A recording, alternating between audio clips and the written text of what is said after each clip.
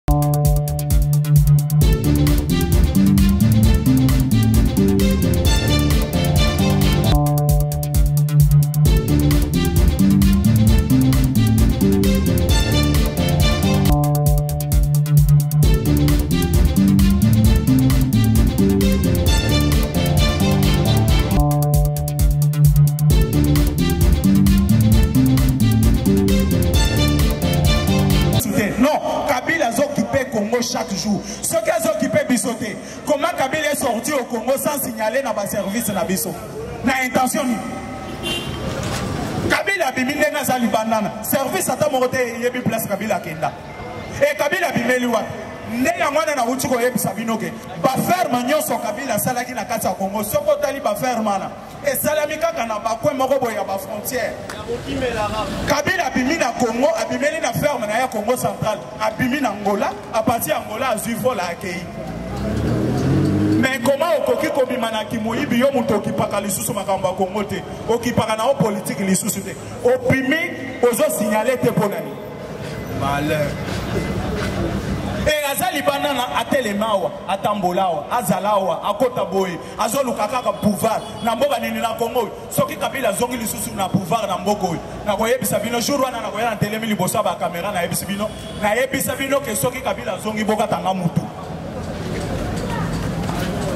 emo kabila bayebaka politiki te tala mpo nalakisa bino ke kabila ayebaka politiki te aujourd'hui kabila akei na opposition na bato na ye normalement il fallait basala opposition il fallait basala opposition na bato na ye mais na opposition oyo bango bateyi kabila bakoki opposition te kabila asali kaka ne friske une année et demi bamoni opposition ekomeli bango kilo mbala moko bakotisama mais lidepes a fait 37 ans mais bango des ans ya pamba bakoki te basimbi minduki l'alliance fleuve congo c'est kabila lm 23 c'est kabila e omoni bato mosusu bavandi o oh, ramafosa mpo na nini akendaki mese na bango oyo baorganizaki na kati ya rwanda soki bolandeli bien bokoyoka ramafosa ndenge acubi kagame biloko na mokongo eza diplomatie UDPS viva Viva UDPS viva Viva UDPS viva Viva Viva Chers combattants d'élite nazali koyebisa bino bato oyo nyonso bozomona bapresident oyo nyonso baza nzingazinga na biso awa présence ya félix antoine tshisekedi tshilombo ezosepelisa bango te e bazosepela na présence na ye ata moke te base bazwi lumbelumbe na degre moko eri yo ozozela fufu eri yo ozozela babongisela yo dollar ekita mais il faut d'abord voir ce gens là non Parce que heure yo zo yoka fièvre, oh nazo belle. L'été, nazo belle bo pesa nga kisi wana na mela. Omeli kisi sur place là oko yoka bien. Mais malade esili na nzoto te parce que basali examen te po baye ba ke malade nini ezo tungisa yo. Bien parlé. Fièvre zo yoka ezani. Il faut d'abord kobanda il faut d'abord kobanda par kosalisa ba examen Mpo na koyeba eloko nini ezali koluka fie fièvre. Mais yo sikoyo ozolinga David.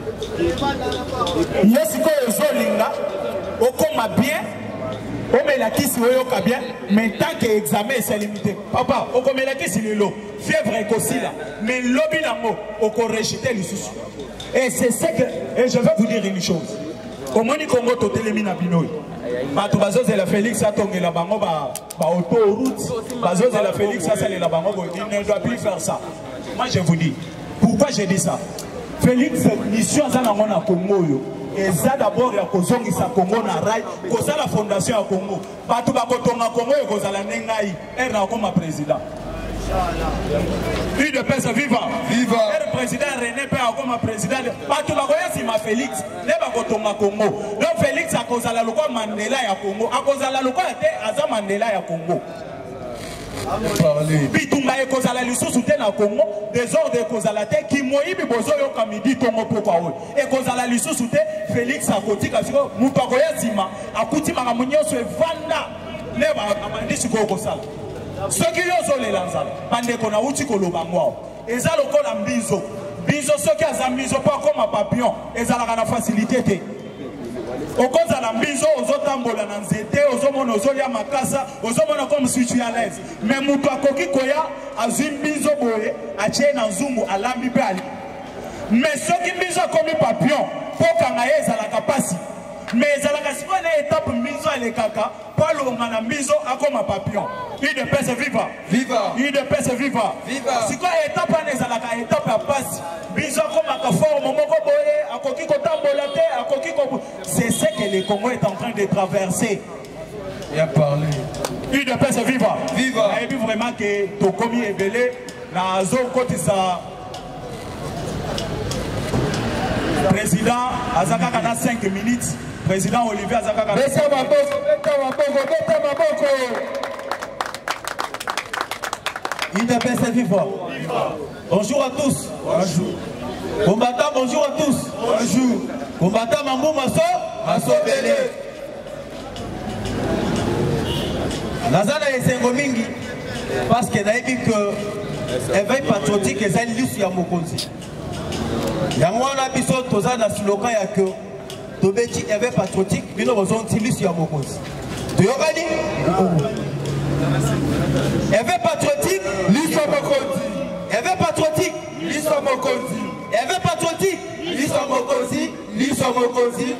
liso ya mokonzi tobeta maboko makasi beta maboko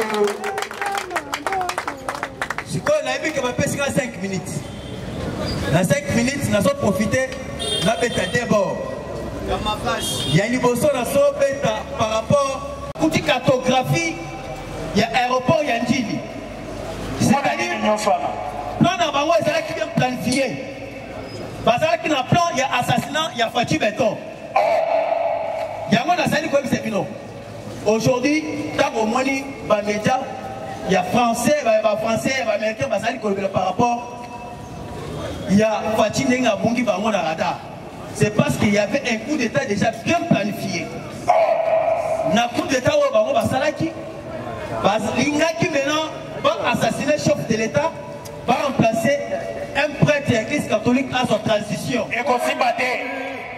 Eza neko. Tango un prêtre akozwa transition, yango komona maintenant retour en force ya Kabila, ya Nanga, ya Baruberwa. Parce que ndenge tozali kokende États-Unis asi a perdre déjà Congo à 80%. Oh, ça c'est vrai. Par rapport ya guerre oyo ezali kosalema entre Ukraine na Russie, États-Unis aza na posa ya contrôler RDC. Ko contrôler RDC, c'est passé par le Rwanda. Kokata Congo, ITPS vivant. Viva. Kobanda na ngolo sana se. ITPS vivant. Viva. Na eteni oyo bango bazolinga mena kokata. On a envisagé ya kokata 5 provinces. Bazui Ituri, bazui Maniema, bazui Nord Kivu et le Sud Kivu. Parce que ezali ba provinces oyo ezali na ba minerais stratégiques. Ya keno bakoti lelo bazui minerais wana, basali minduki na bango, ba préparer guerre contre, contre la Russie. Yango omoni déjà ndenge eza awa. Plan na bango ezali na mayi.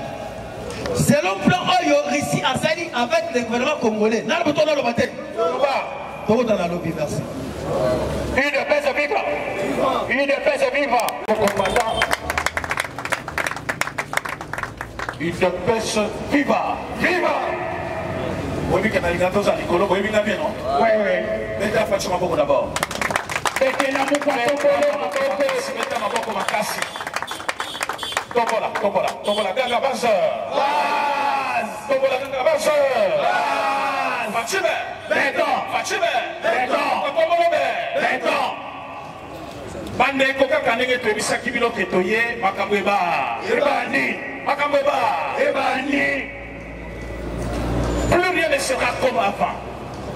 Bato basakani trop na mboka, on doit arrêter avec de vieilles habitudes.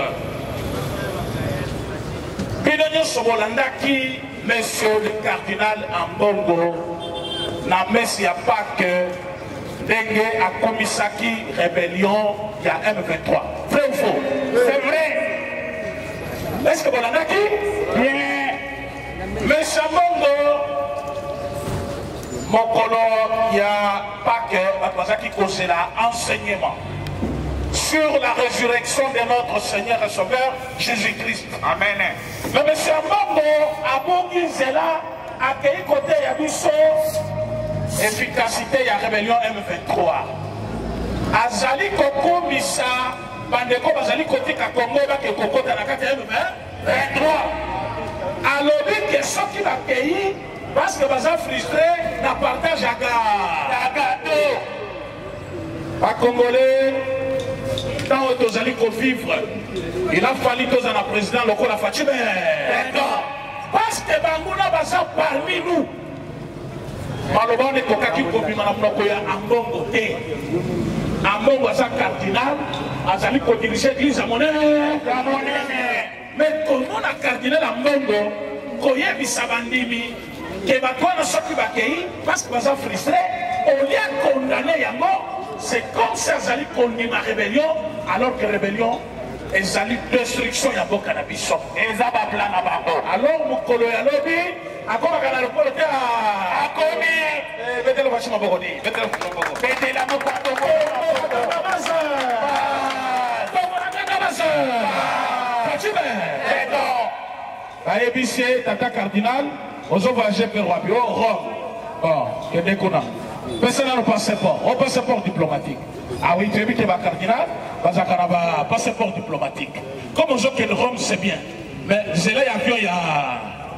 kota na salle d'attente comme bato nyonso nayoki bino te tobolakaka base bayebisi cardinal zela ya report yango kota na salle d'attente lokola bapassager nyonso cardinal lobi ngai cardinal na sukali kaka salon vip ya faciwana Nayebise yo kobanda lelo awa okokota lisusu te. Okokende na bango botanga bazo. Betela fuchiko bokobi. Beta maboko soba. Buzoba ezaka na suka na ya yango. Basakanaka na integrite ya mboka te. Président alekaka. Mobutu aleka. Kabila aleka. Kabila mosusu aleka. Tshisekedi basali nini? Akoleka. Deja nanu lelo te. Mais tant qu'il est là, tokoteka mboka te. Parce que yo za cardinal, parce que yo za opposant, toteka mboka te. Kosimba te. Même après tu sais que du Congo ekozala. Alors il faut toteka mboka. Pour yo za cardinal. Yango betela Fatshi maboko. Betela moko ya kokolo maboko, beta maboko, beta maboko. Alors wazali koloba ke batikela barwandais temps parce que motu na ye ya liboso Corneille Nanga aza kuna. Motu ya mibale Henri Mangi. Motu ya misato. Mais mes chers amis, avant tokeba biro nalobaki toleka lelo tokominye tosalaka eloko ya ensemble bobanda komona biso ya de temps en temps tokoya kolobela bino parce que c'est notre seul parti avant toke mosala chaque jour tokobanda kosala eloko oyo parce que eza na avantage monene mpo na bino éveil de conscience ya bacongolais nous devons le faire bakokosa bino chaque jour te bitumba faci azali kobunda na este ya moto asali yango te tokolakaka baza bitumba faci azali kobunda esali na congo depuis 25 ans déjà kabila ye asali 18 ans tshisekedi na te 5 ans azali otele bitumba wana te mais ezali moma nzambe alobaki akoma pour kasisa yango Yango to dote armée na biso un armement moderne très lourd. Lelo armée na biso ezali kosala face contre les armées ya mokili mobimba. Mais ba traitre baza kaka parmi nous. Ba traitre nde bomoni bakoteli fatiti na kati ya ndako bakei kobomela ye garde corps. Ah, garde corps ya chef de l'état assassiné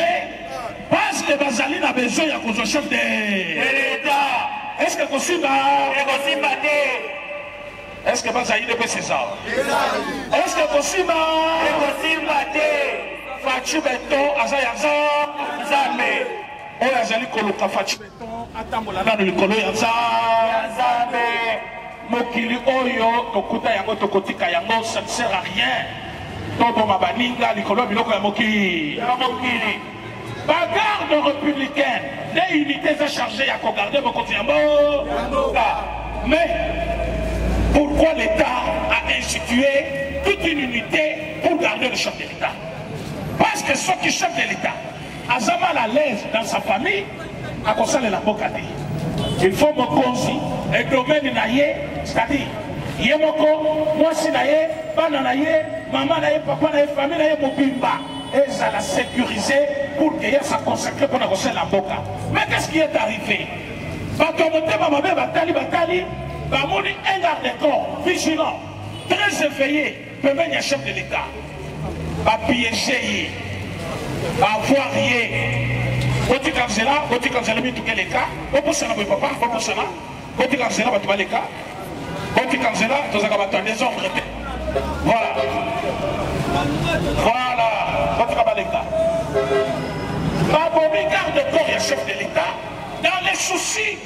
ya ko affaiblir securite na ye j'espère que basali yango par hasard te c'est parce que bazali na besoin ya ko avoir chef de l'état mais comme faci beton tel que vous le connaissez c'est un homme politiquement très fort atute alobi mpe ya ton ame grand homme akendaka formation ye moko te bazalaki ebele so bobomi moko bobomi bango nyonso te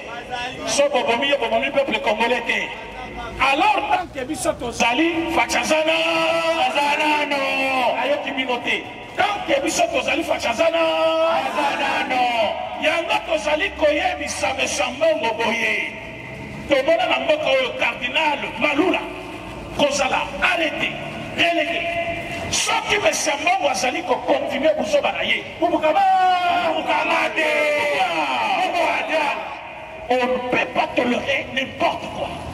oza cardinal ezali fonction politike te ezali fonction religieuse au sein d'une église lokola alingi komonela mina leta alobaka n'importe quoi contre le chef de l'état liberté na ye tokotya yango na kaka est ce que nayoki bino Paske azali komona kakomi au-dessus de la mele eh, akomi kotelemela leta toya na problème ya identité balobi bapesa congolais nyonso identité kobanda lelo congolais azwa carte de identité na ye baidentifie l'homme congolais balobi basécurise le poste clé de la république présidence Gouvernorat, ministre de l'interieur, ministre de defense, bakopesa yango na mopaya te moto ya liboso akotelema kardinal yango oyo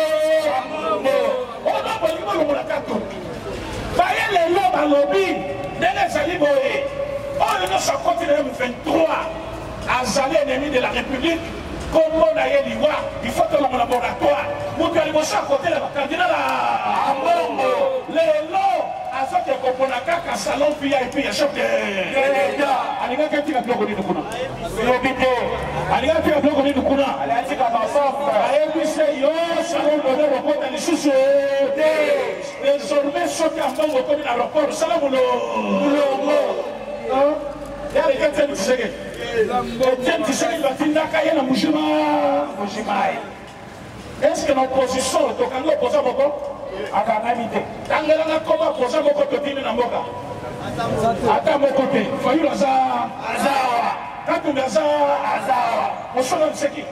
moziki moziki mais na temps ya opposition ya udps etienne tshisekedi akendaka ngo boka ça montre que la démocratie a été érigée na kati ya république démocratique du congo avec l'avènement de fatshi beton Nazali kosukisa boye, bazali koyebisa bino Mwachabongi amonani te, ateki mboka boye na boye. Bandeko balandi bato oyo nyonso bazali koyebisa bino babuzoba wana bazali ba ennemi de la république sisi sisi Fatshi Beton est bel en bien en forme en bonne santé et il est au pays pendant que bazali koluka ye ailleurs que le bien en vie et en bonne santé nokwa ntombolo ela bakozala na insomnie parce que bazalaki na calcul mabe contre le corps le congo bato nyonso bazali komona bazoluka de bete noire Bazaki na ba calcul ebele. Est de la République eza envahi aujourd'hui à cause de monsieur Kabila. Kopesaka deux minutes parce que toza ebele. Monsieur Kabila, monsieur Kabila a signé des accords avec le Rwanda.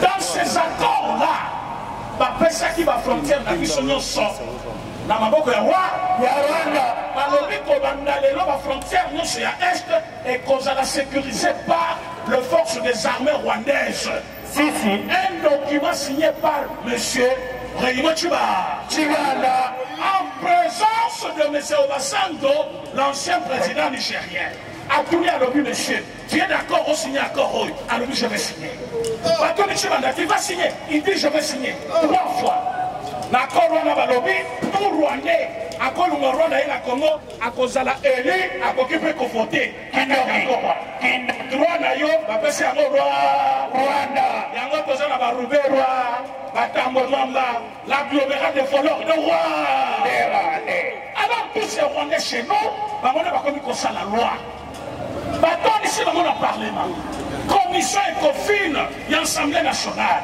eh, nani défense et sécurité là où ça doit se décider sur la sécurité du pays bakamati moto lokola janete kabila bapesi ye commission défense et sécurité ya mboka logique bakamati ato bapesi ye nani daniel esafu logique est ce que bato wana bakosalela mboka wana na législature passée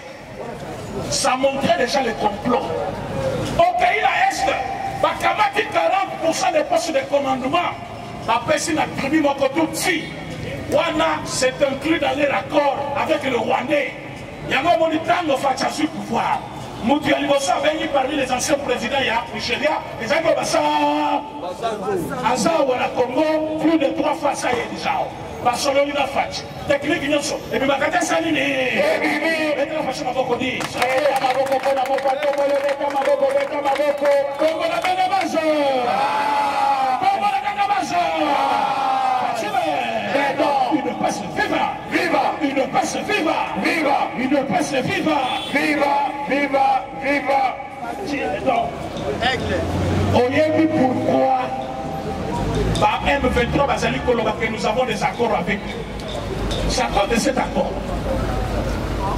accord wana moto asignaki yango c'est sur michel kabila oyo bazobetela maboko par baninga mosusu ba inconscient lelo fati azali kosubir likolo ya bakoro signe par michel kabila ekozoluka bapesa honneur azala protege azala garde azala vivant azala libre oui c'est bien mais il doit laisser la main tant qu'il garde sa main sur la rébellion tokosilana na ye tant qu'il garde sa main la rébellion tokosilana na ye toyebi plan na ye mibale il fallait atake kinshasa et lubumbashi Mais comme maintenant Fatshi aza éveillé, Fatshi est calme. yango bomonaki makambo oyo kati asali nini bayebisaki bino ke non aye akoti par kaso asumalesa kobanda jour wana ti lelo aza wapi atikala onyata lisusu utapekisa kozonga na mboka aza te soki akozonga asala nini azonga me akokutana na leta on va lui demander obimaki ndenge osignalaki deja mite mpo na pourkoi ndela ayebaki te okendaki wapi oyo nake kodefendre memoire yo oyaki na kodirige mboka sans étude te oya kokamba mboka après 18 ans après okende kotanga me oyo balobaki te atangi te alakisi bango ke mwana nzala yo moto outi libanda oyebi politike nga moto nabotami na politike nakoli na politike tata akufi atikeli nga pouvoir na kati ya politike yo ba politike oleka ngai faca lobi nakobeta bango filme moko mokomokobaleli te baleli baboza nta babazali te babazali faca lobaki ces égyptiens que vous voyez vous ne verrez plus jamais Shadara akomi kuna o oh, bolingi bosala nini? Batuni bolobaki tu vas paralyser la ville. Lelo Albert Yuma balongoli ya fete, balongoli babundi na assemblée, balongoli bajuge, balongoli président na bino ya ya Sénat. Ah Pourquoi opanzi nanu mboka te? O oh, moyen eza te. sikoyo ozoluka lisusu nini oyo lokola résidence ya genève eza surveille nous allons tout faire mpo na kolibere mboka balobi janet akokangama olive akokangama kabila akokangama yo mpe okokangama faca azokela bango balebe ba malembe motu nyonso atrahir mboka place na ye eza boloko soki omoni moto akomi kolela yebake plan yaki nango echouer yango naye koyebisa bino peuple congolais comme bandeko base baye j'ai longuement parlé mais lobi nakozala très matinal 6 heures nakozala awa beta maboko beta maboko beta maboko beta maboko idps viva idps viva bosumeza te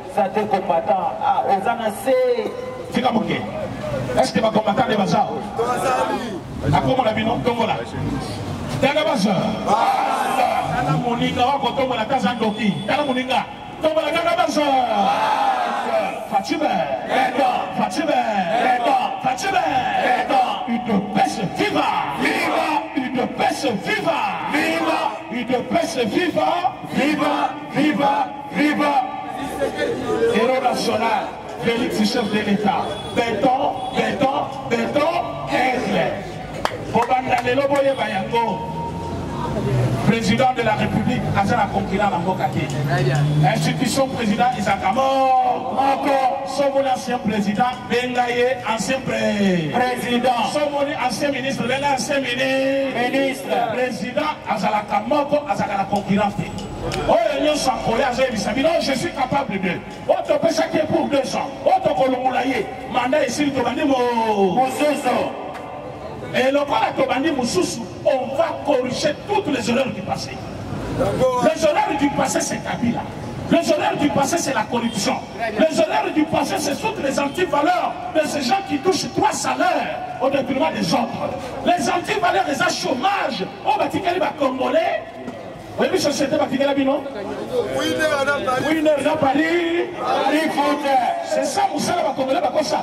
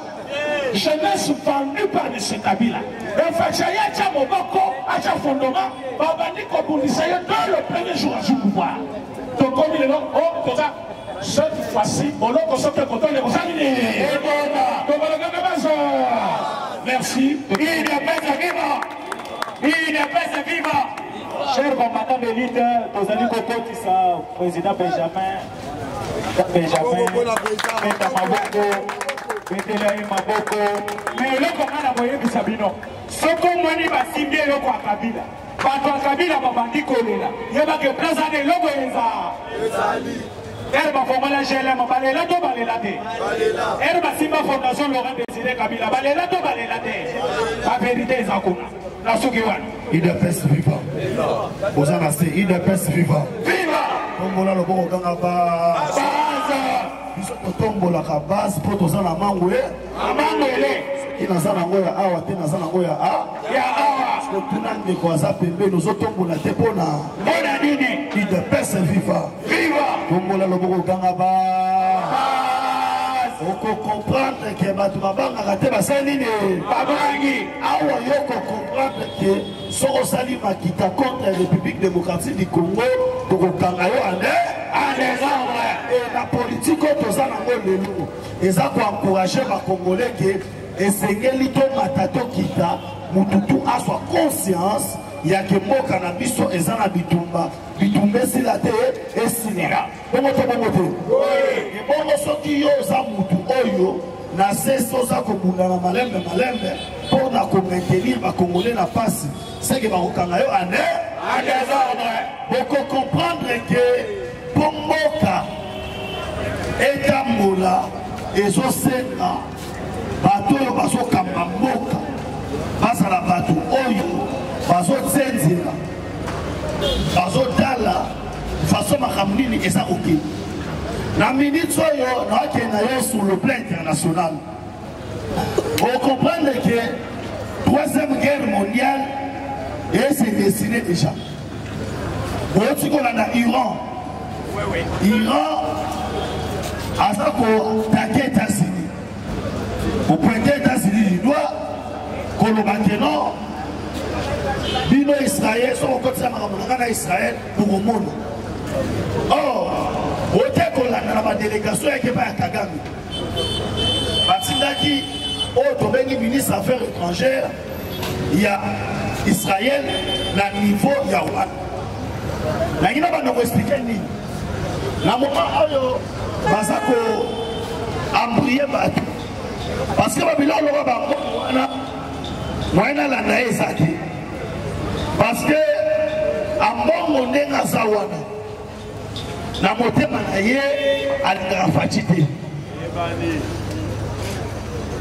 kisi ya kopesa motu alinga yo ezalaka te motu so eza yina yo papa ekochange nango eloko te ata osali bolamu nde abando ba arangaki na ye mais koto wana asaki nini ezaki o oh, siko fo toyeba nanu bitumba ya mbongo na faci euti wapi naloba te loba na panza to na panza te panza bongola loboko kanga ba bitumba euti ya kozi ya likonda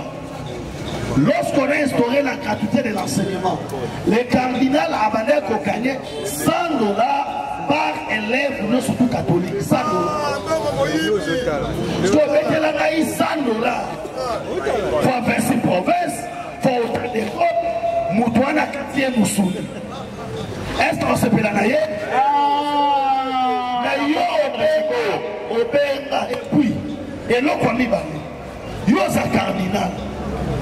Olive aza mwasi ya batu ya Kabila. Ndenge nini Olive asafishaka te na mobali na ye akomaka heure nyonso tuna yo yaya kikamaradi ya mwasi na mobali ezalaka te ezala oza sango oza ngu oza kutu sikoyo epuis basango nde bazalaka nzambala Siko yo simbaka mer heure nyonso to yebe yebela yebe yebela po mwasi ya bato epuis soki azoyamba ye osati mpenza keno oyo ekomi eloko mosusu bandaka awa bandokaka banda boye abloke seke oyo ekomi eloko mosusu awa siko topesa bino nini lorsque moto abandi kosoutenir ba ennemi ya Congo c'est que ye moko aza ennemi ya ko ya Congo aujourd'hui si c'est la rébellion Fatshi on peut être eloko te mpo rébellion moko te ya na mboka oyo oyo kaka Fally Sekede bomi ye to eboma Antony okoboma kaka ba simple citoyen sikoyo bitumba oyo ozokundisa wana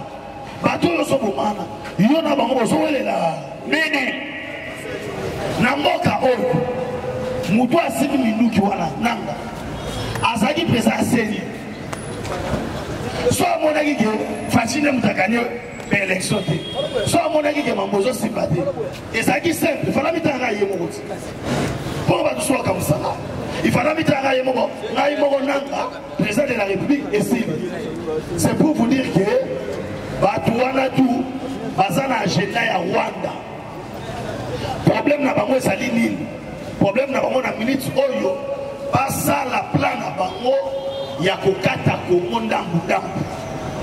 Or biso nde tozali awa toyeli bino temps ya éveil patriotique oyo eza mpo ososola makambo ndenge eza koleka na mboka na biso udps viva viva parti au pouvoir viva viva lorsque premier ministre israélien ake na niveau ya rwanda alobi clairement ke esengeli ko appuye rwanda na momo nazoyebisa yo ya deux jours passé vendredi eloni eleki on a aperçu ba avion ya ba américain oyo ezokisisa materiel na niveau ya uganda na minute oyo bakosa bino te ke oyo tozobanga eloko tozosala boye awa nakoyesa bino awa semaine oyo tozali awa inspecteur général ya armée na biso oyo babengi général amisi tango fort akosala oyo tobengi contrôle na bacentre nyonso tout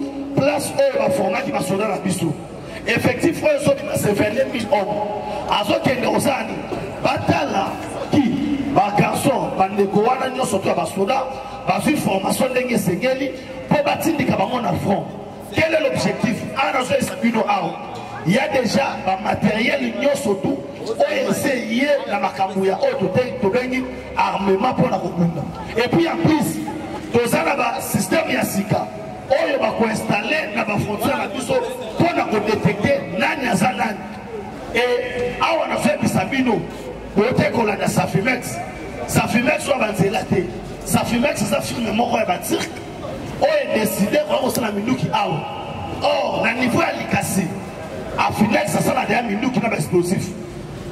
mais babakiseli ye bamashine ya sika très cher combattant soki lelo nous parvenons ya kosala mosala ya kobunda mpo na mboka oyo parce que ya liboso fo boyeba ke faci aza congolais de pere de bolingo na ye na ya kabila moya ezala ndenge moko eza te yango omoni ye moya signe baaccord aboyi na ye kosigne baaccord parce que abikino tous les accords na osigne nazomema kongo na libu na libulu oh, bato bazali bakongole te so toki otambwa na bango ozomona rs bazwa te dialogue e eh, négociation tokonegocie nini na minute oyo soki oza kongole zwa mayele na yo ntango na mosala te ntango wana faci elongo parce que soki oboyi bongo sala mokili na yo sala mokili na yo ndeko olinga olinga ata ndenge ozoyimayima na motema wana omata okita faci aza nano wana fana yebisaka bino faci aza na naza nano aza nano mpo na nini oyo deja to ela oyo tozwi ya kokende na mboka likolo na shite awa baministre oyo bakozonga na guvernema oyo eza ka ba ministre oyo basali mosala kitoko kitoko baoyo basali mosala mabe tokobanda koyela bino ntongo midi mpokwa moko moko tolobi oyo soki azongi yebe yebela bato mosusu bakomi koya mpo na kointimide mama ministre mama premier ministre bokebaka na bino botika ye asala mosala na ye na pe na pembele mais awa tokoyebisa bino les gens veulent diaboliser bato mosusu notre ministre ya finance nakamwa bato mosusu alobi ete ministre ya finance azo bloke biso botina boye tina boye comment ministre ya finance ako bloke décision na conseil de ministre akosala wana nde bato ebele baza bamiyibi lorsque ozoya na projet lorsque ozoya na ta ya kodekese mbo eza na babiloko babengaka na leta ezalaka prioritaire yo ye par exemple